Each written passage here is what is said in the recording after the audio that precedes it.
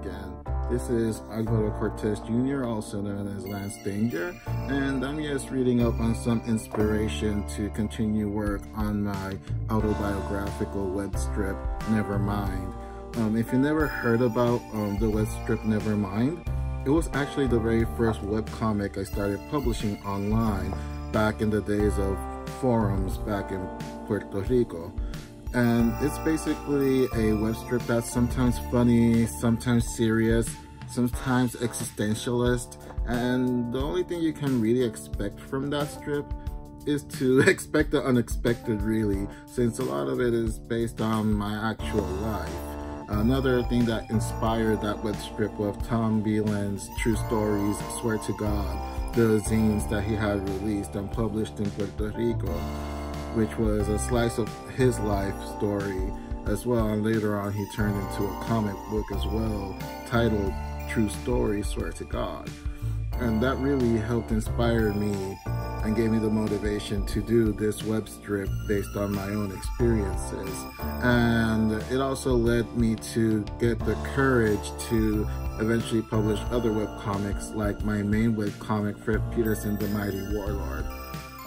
Now, I'm reading this format as well because a web strip is pretty much like a newspaper strip. It's like a two to three, four panel gag kind of story. But I'm also thinking of expanding Nevermind a little bit as well and doing an actual graphic novel uh, based in one particular moment in my life.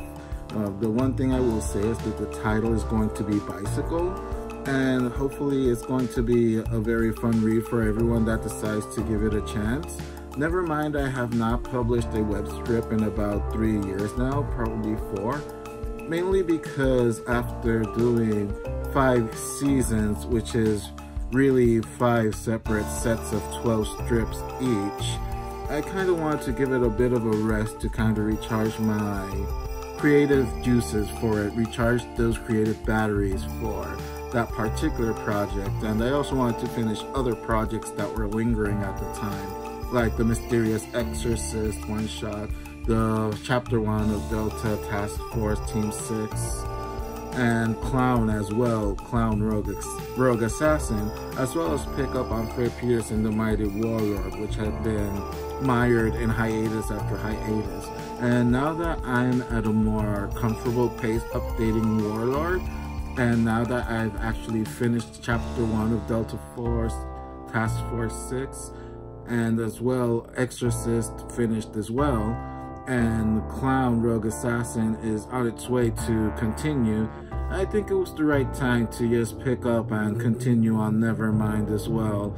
These are sometimes kind of rough for me to work on because as I mentioned before, they are based on personal experiences that's actually happened to me but in a way it's kind of therapeutic for me.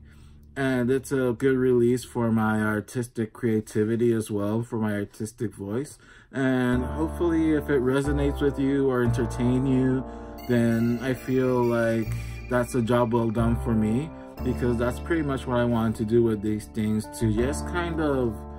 aside from have this creative outlet and almost more of like a personal outlet, if anyone can find any kind of value in that content, that definitely makes my day and it makes it all worth it.